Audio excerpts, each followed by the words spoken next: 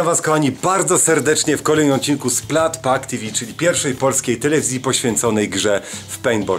Dzisiaj kochani najprawdopodobniej mm, taki najbardziej interesujący odcinek pod kątem tego, o co prosiliście.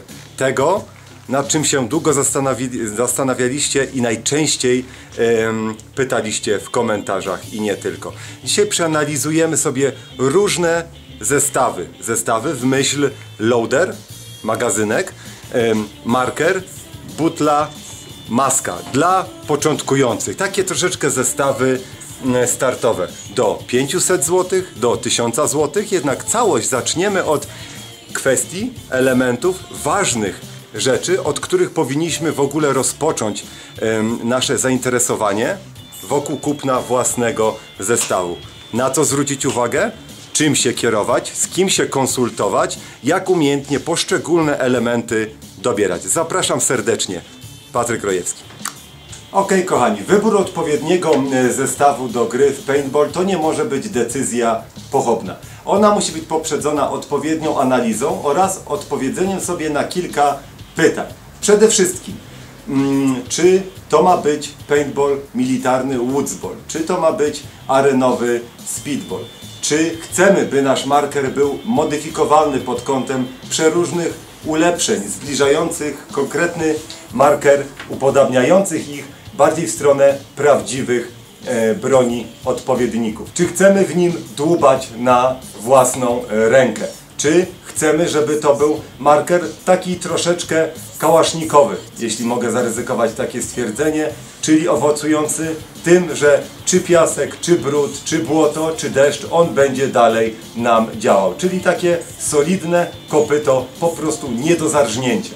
Inna kwestia to oczywiście waga, w jakim jesteśmy wieku, jaką mamy siłę, jakimi gabarytami dysponujemy. Czy to ma być marker lekki, krótki, którym operowanie jest proste, jeśli chodzi o teren e, zabudowany. Czy właśnie jeśli wybierzemy jakiegoś mm, militarnego markera pod soczysty upgrade, co na pewno wpłynie na jego ciężkość i gabaryty. To kolejne kwestie, które musimy przemyśleć przed przystąpieniem do konkretnego zakupu. Inna sprawa to odpowiedni dobór ludzi oraz terenu, na te, terenu, gdzie będziemy prowadzić nasze rozkoszne sytuacje na smarowanie się falbą. Czy to mają być e, właśnie arenowe balony speedballowe, czy to na przykład jakieś, jakiś urban na terenie obiektów zamkniętych, jakichś budynków, korytarzy, bunkrów, czy pole otwarte, też woodsballowe, krzaki, roślinność, okopy, rowy, e, imitujące różne przeszkody, e, wieżyczki czy bunkry.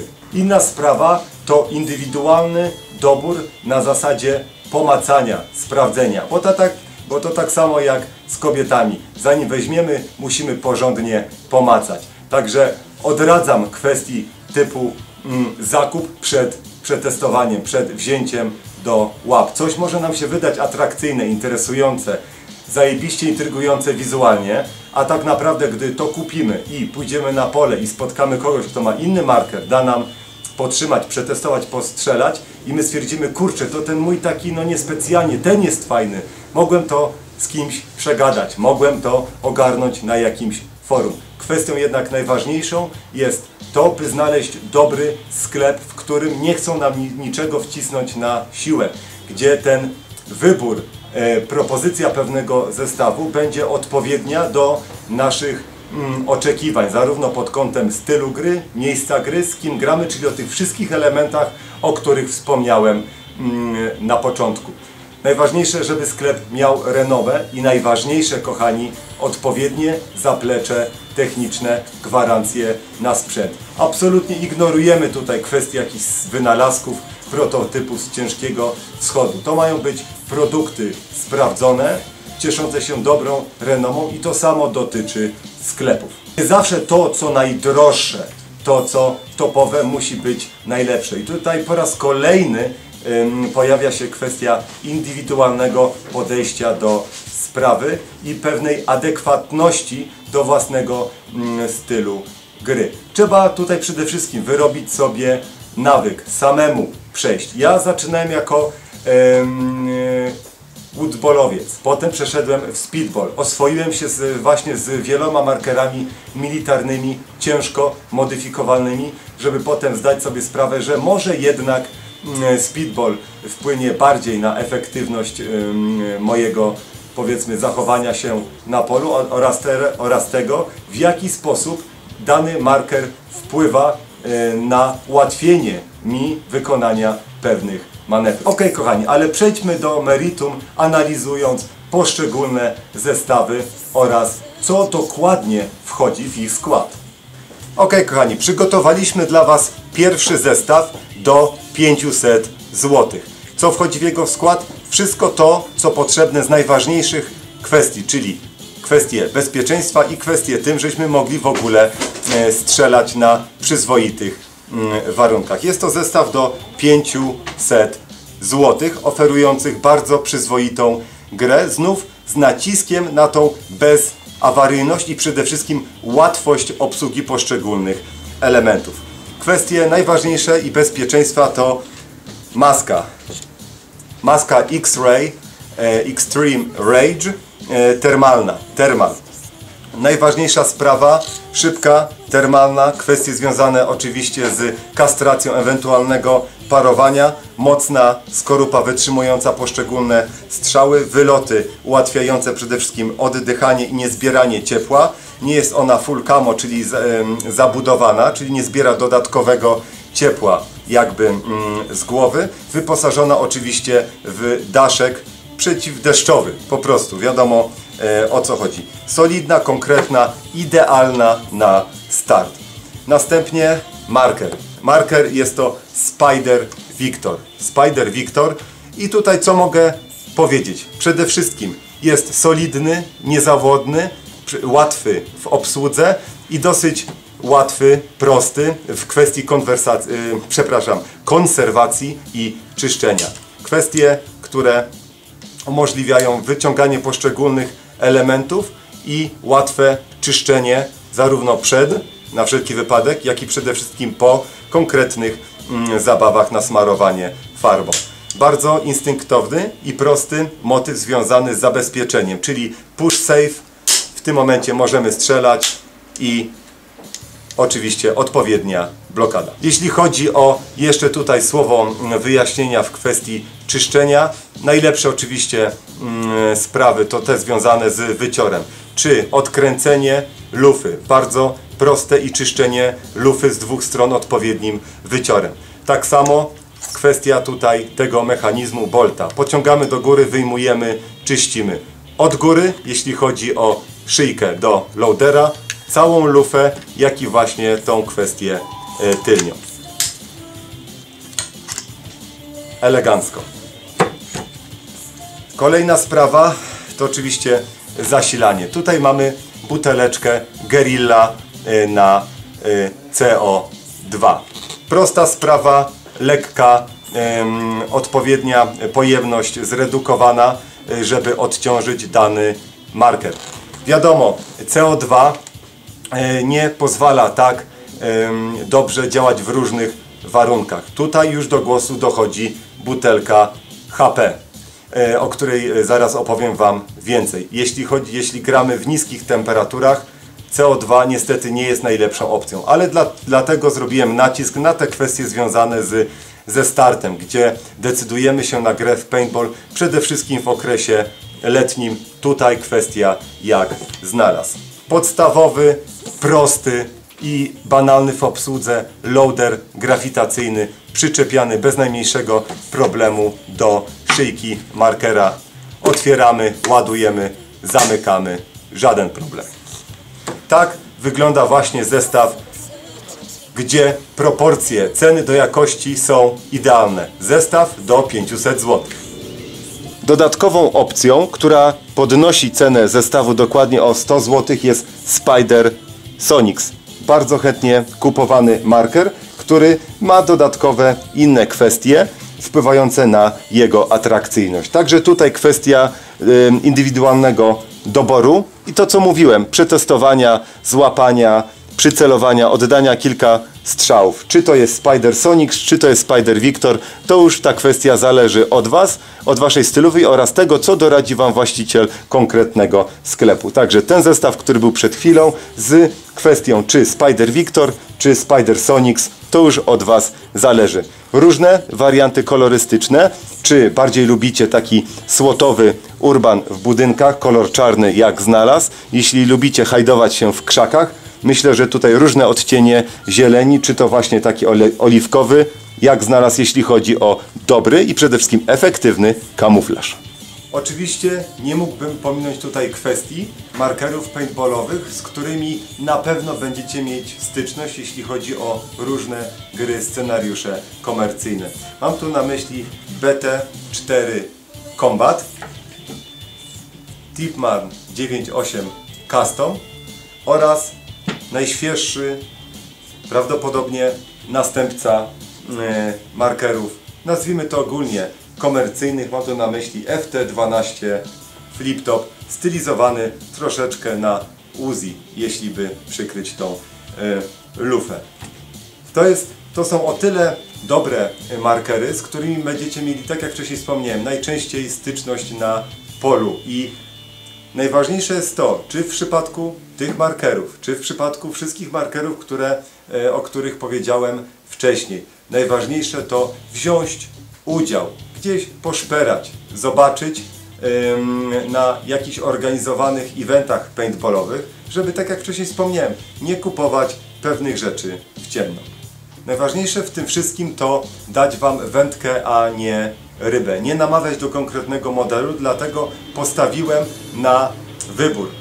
Dosztukowałem zestawy, markery, elementy, takie byście mieli większe pole wyboru i rozeznania w temacie.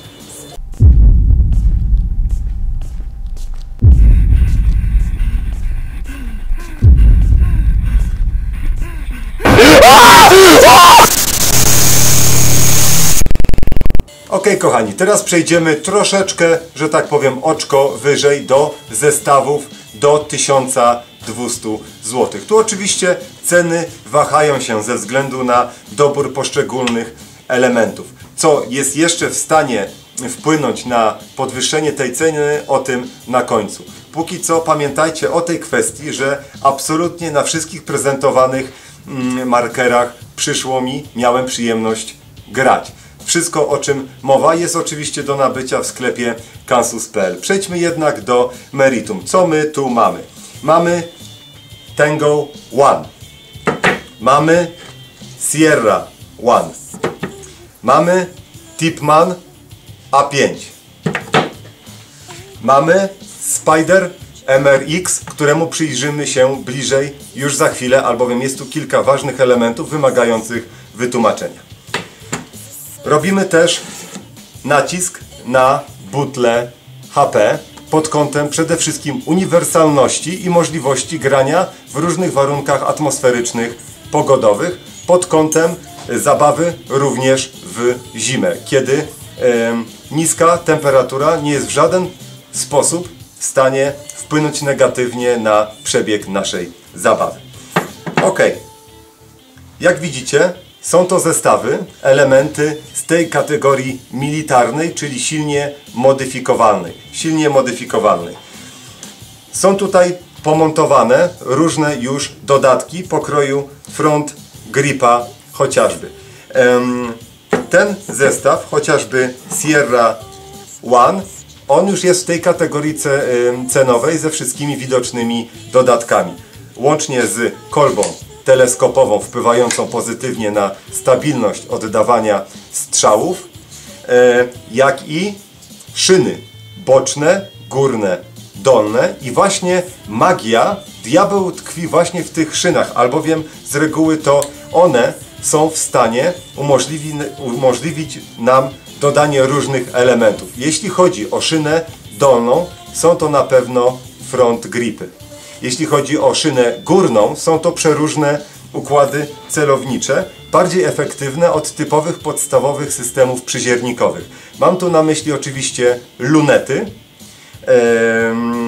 snajperskie, optyczne, kolimatory otwarte czy zamknięte.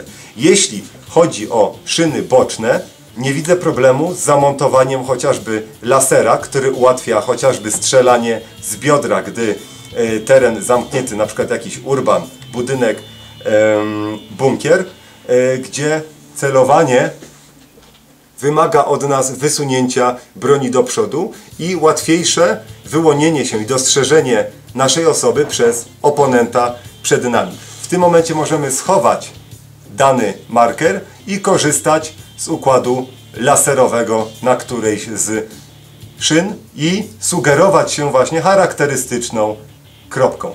Inna sprawa to oczywiście latarki. Szyna według uznania łatwiejsza sprawa, ale również obosieczna, tak samo jak laser. Ułatwia nam celowanie, dostrzeżenie przeciwnika w różnych warunkach, czy ciemno, czy jasno, ale też e, odsłania nas dla przeciwnika. Jesteśmy bardziej widoczni, skąd pada światło i tak dalej. Kojarzymy to chociażby z Battlefielda 3. Myślę, że tutaj jakikolwiek inny komentarz jest zbędny. Jeśli chodzi o Tipmana A5, przede wszystkim bardzo fajny system podawania kulek cyklon, czyli tutaj ta opuszka.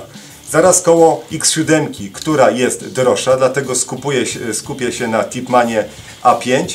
Kwestia bardzo modyfikowana pod kątem zakupienia tak zwanej skorupy, shrouda, chociażby z Obsgira, która umożliwia nam montaż wspomnianych dodatków, jeśli chodzi o Sierra One. Proszę się nie sugerować właśnie tak zwanym e-gripem umożliwiającym prowadzenie ognia nie tylko pojedynczego, ale tylko ciągłego, bo sam e-grip to jest dodatkowe 500 zł. Normalnie mamy tu typową e, rękojeść umożliwiającą oddawanie tyle strzałów, ile razy naciśniemy za spust.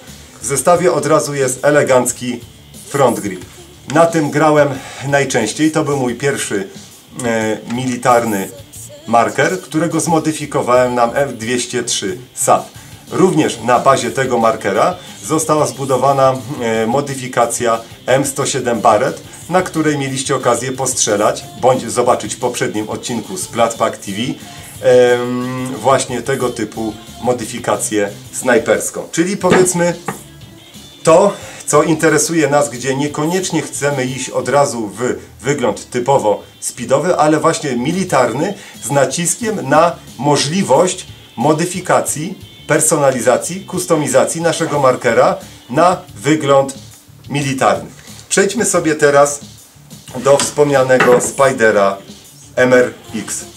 Porządne kopyto, wspomniana właśnie kolba teleskopowa, wysuwana e, i podwójny system działania, jeśli chodzi o podawanie kulek. Mamy powiększony magazynek, który nie działa grawitacyjnie, ale za pomocą specjalnej sprężynki podawającej kulki nam od dołu, ale jest to system hybrydowy, na który możemy przenieść się od razu za pomocą obrócenia lufy w konkretnym kierunku.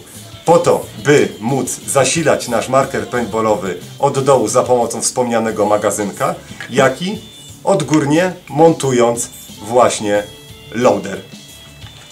Co przede wszystkim cechuje wymienione markery w kwestii do 1200 zł.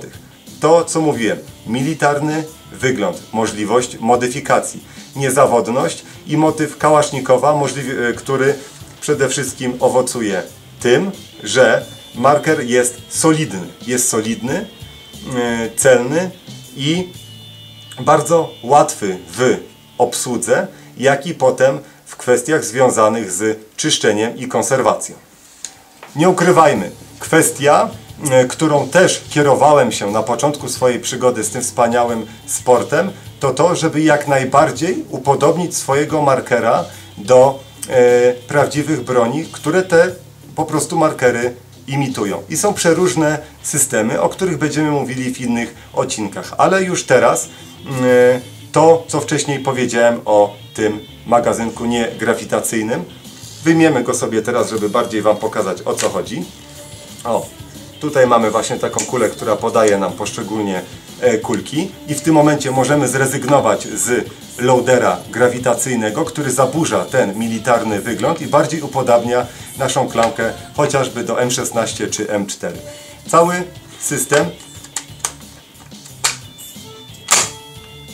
dokładnie wygląda ten sposób. Inna sprawa, bo są w sumie dwie kwestie, które zaburzają ten militarny wygląd. Górny loader, kwestia tutaj już wyjaśniona. Będziemy jeszcze kiedyś mówić o tak zwanych Q-loaderach, ale o tym kiedyś, żeby za bardzo nie mącić Wam w głowach. Inna sprawa to system y, Mamby, z której też swego czasu korzystałem. O co chodzi? Zazwyczaj montujemy i przysłużę się tutaj e, przykładem butli HP Guerrilla. Możemy wmontować w to miejsce naszą butlę. Jednak owocuje to zaburzeniem militarnego wyglądu i dodaniem oczywiście kolejnych kilogramów, co sprawia, że po prostu nasz marker jest cięższy i trudniejszy, mniej satysfakcjonujący w obsłudze. I tu pojawia się właśnie mamba. Mamy jakąś mambę? Super. Zaraz Wam pokażę dokładnie o co chodzi. Proszę bardzo. Tutaj mamy mambę, czyli taką, mówiąc prostym językiem, przedłużkę, której, którą jedną końcówkę montujemy tu, gdzie przed chwilą montowałem butlę, a drugą końcówkę montujemy w butlę. Jeśli chodzi o to, gdzie trzymać tą butlę, zazwyczaj na paskach, kamizelkach taktycznych bądź specjalnych uprzężach. Ja miałem taki specjalny pas, gdzie na wysokości kręgosłupa na plecach montowałem sobie taką butlę, a po bokach miałem cztery sloty na faty. W tym momencie odciążamy nasz marker, dodając jej kilka punktów militarnego wyglądu i owocuje to tym, że jesteśmy zbliżeni wizualnie do prawdziwego żołnierza. Oczywiście e, systemy tego typu, jeśli chodzi o magazynek, to jest oczywiście ograniczona kwestia pojemności kul. Bardziej w tym momencie kładziemy nacisk na taktykę prowadzonych starć. Ok, kochani, nie mógłbym również nie wspomnieć o elektropneumatyku. Jeśli chodzi o elektropneumatyki, to oczywiście im zostanie e, poświęcony oddzielny odcinek, znów z naciskiem, żeby dzisiaj za bardzo nie mieszać Wam e, w głowach. Jest to GOG Envy. GOG Envy i dobra butla, dobra maska i dobry loader to jest praktycznie mistrz w tym przedziale cenowym, o którym przed chwilą mówiliśmy. Jednak oczywiście tutaj pozbywamy się pewnych walorów militarnych, modyfikacyjnych na rzecz oczywiście e, ukierunkowania się bardziej na wygląd i walory bojowe, że tak brzydko powiem, jeśli chodzi o paintball, speedballowe. Ok, teraz przechodzimy do loaderów, czyli mówiąc prościej, magazynków głównych, górnych, grawitacyjnych, znów w tym zestawie do 1100 zł. Wyodrębniłem tutaj dokładnie 5 typów wspomnianych loaderów. Mamy tutaj Proto Primo na 180 kulek. Mamy GXG Torpedo na 300 kulek. Mamy Ricochet R5 na 220 kulek. Mamy też potężną świnię RAP 4 na 450 kulek. Mamy również wersję bardziej precyzyjną, gdzie całujemy każdą kuleczkę na dobranoc i mowa tutaj o GXG 50. Teraz powiemy sobie o niektórych loaderach kilka dodatkowych kwestii. Jak zapewne mm, e, się orientujecie, poszczególne loadery są w ten sposób skierowane do oponenta, bądź po prostu w miejsce, do którego celujemy markerem. Ważne też więc są te, mm, nazwijmy to, głowice pod kątem, by jak najmniej pocisków kulek farby zbierały. Tutaj dosyć interesującym przykładem jest wspomniany rykoszet na 220 kulek, z którego swego czasu korzystałem. On wprawdzie wystaje bardziej niż na przykład Low Loaders X7, ale zwróćcie uwagę, jaki ma początek, jaki ma mm, powiedzmy tą głowicę. W tym momencie nieraz byłem świadkiem sytuacji, że oponent, który strzelował, strzelał, przepraszam, w moim kierunku, czyli był na mojej 12, 12 bądź po prostu moje lustro, w tym momencie kulki rykoszetowały, także zwróćcie uwagę, bardzo adekwatna nazwa. Odbijały się po prostu, tak jak chociażby różne pancerze na czołgach, no cokolwiek w ten e, deseń. Jeśli chodzi o tą potężną świnię, gdzie bardziej w opozycji do GXG 50, 400 50, 450 RAP 4 dwie najważniejsze kwestie. Oczywiście pojemność, prawda, która jest mm, oczywiście występuje tutaj kosztem większej powierzchni, w jaką możemy oberwać kulką, e, ma, zwróćcie uwagę, takie specjalne odgięcie, co ułatwia montaż układów celowniczych na konkretny marker. Także jak widzicie, dosyć pokaźny rozstaw, jeśli chodzi o pojemność kulek. Czy idziemy bardziej na ilość, szybkostrzelność niż na celność? Tutaj na celność i ym, przywiązanie do absolutnie każdej sztuki kulki, czy na kwestie związane z zabezpieczeniem się w kwestii celowania kogo, do kogoś od przodu, czy chociażby niskie profile, czy jeśli chodzi chociażby o Proto Primo, specjalna nakładka wewnętrzna uniemożliwiająca zacięcie się, po prostu tak zwany jamming, jeśli chodzi o kulki.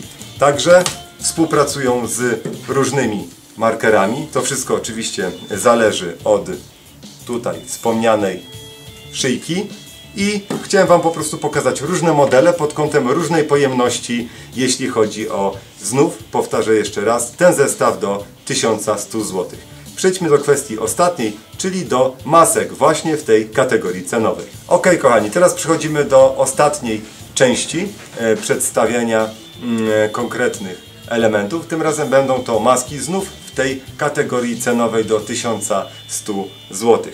Mamy tutaj ponownie Extreme Rage X-Ray Thermal z pierwszego zestawu. Po prostu jest to świetna, dobra maska e, w swojej klasie i jak najbardziej może znaleźć się w tym zestawieniu.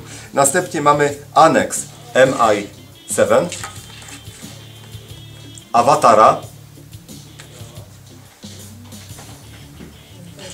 Extreme Rage 2020 na przykładzie której pokażę Wam taki pewien bajer, który ma swoje wady i zalety, a całość zakończymy e, dwoma zdaniami na temat masek z pojedynczą szybką. Znów plusy i minusy. Najważniejsze w masce i tutaj chyba najmocniejsza właśnie kwestia, naj, największy nacisk na to, by nie kupować w ciemno. Przede wszystkim trzeba konkretną maskę przymierzyć. Jak ona leży, czy nas nie gniecie, jak wygląda system y, ściskania pasków, jak ona leży po prostu na kształcie naszej głowy. Są to oczywiście maski, gdzie Rojcio Syfu Wam nie poleca. E, podwójne szybki termalne, wpływające pozytywnie, kastrujące element mm, e, parowania. Element parowania. I tutaj właśnie na przykładzie maski z jedną szybką. Oczywiście tego typu maski są tańsze, ale odradzam Wam kupowanie masek z pojedynczą szybką przez wzgląd na to, co przed chwilą widziałem. Parowanie, które bezpośrednio owocuje marną satysfakcją zabawy i widocznym, wyraźnym obniżeniem naszych walorów bojowych na polu. Są również systemy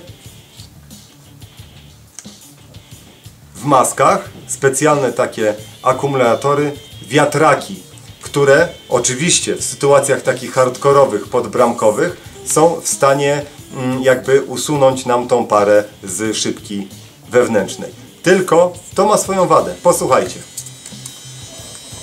Jako, że jest to maska zabudowana, która yy, okala nasz łeb i przy włączonym tego typu systemie raz, że można dostać szału, a dwa, że w sposób nieopisany cierpi na tym komunikacja na polu.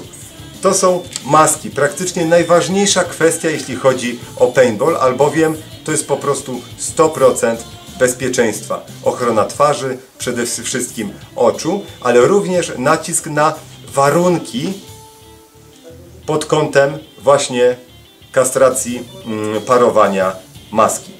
Mają być wygodne, mają fajnie leżeć, mają być jednocześnie solidne i skutecznie przeciwdziałać E, parowaniu. Jednak jeszcze raz to podkreślę, nie kupować w ciemno. Przyjść do sklepu, zapytać, przede wszystkim przymierzyć, trochę się poruszać i odpowiednio dobrać. To były właśnie maski w kategorii zestawów do 1100 zł.